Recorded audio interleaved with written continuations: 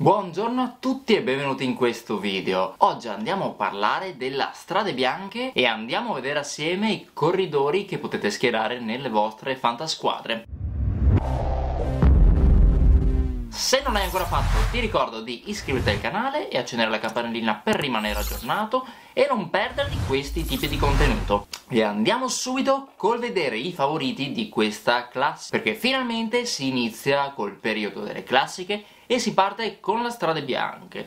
Strade bianche che non è una corsa antichissima come la Parigi-Roubaix la Milano-Sanremo, è stata fondata nel 2007 e è sempre stata una gara che ha dato spettacolo di fatti e molto amata da tutti i ciclisti. È da qualche anno che è entrata nel panorama World Tour, prima non aveva questa licenza, ma era comunque una gara che l'affrontavano tutti i grandi ciclisti. Non a caso l'ha vinta tre volte Fabian Cancellara. E per quest'anno chi saranno i favoriti? Io andrei subito con l'elencare il quattro volte campione del mondo di ciclocross Mathieu Van Der Poel. Non l'ha mai corsa ma il percorso sembra proprio disegnato per lui. Difatti ci sono 63 km di strada bianca che lo avvantaggeranno. L'arrivo a Piazza del Campo a Siena è molto duro, è circa un chilometro con pezzi che arrivano fino al 15% dipendenza. E uno come lui me lo vedo molto molto bene sia nelle strade bianche che nell'arrivo disegnato per persone esplosive come lui. Se vi ricordate molto bene in cima allo strappo ci sono quelle due curve in una strada molto stretta che di solito chi le prende in testa ha vinto la gara. E il mio favorito numero uno è Mathieu Van Der Poel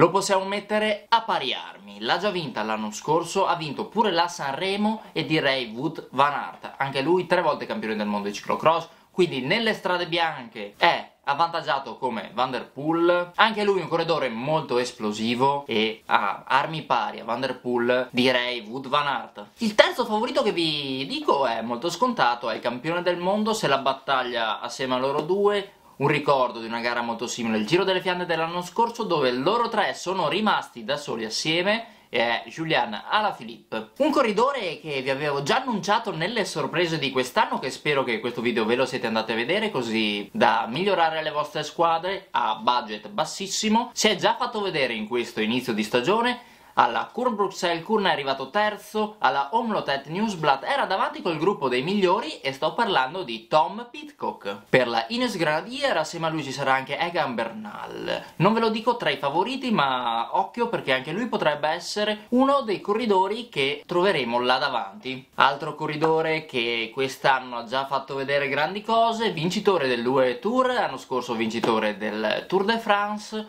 Corridore che lui molto esplosivo, quest'anno la prima tappa dell'UE Tour era davanti, si è giocato addirittura la volata con Van Der Poel, è arrivato quinto, ha vinto già l'UE Tour e una tappa e sto parlando di Tadej Pogacar. Attenzione anche allo sloveno.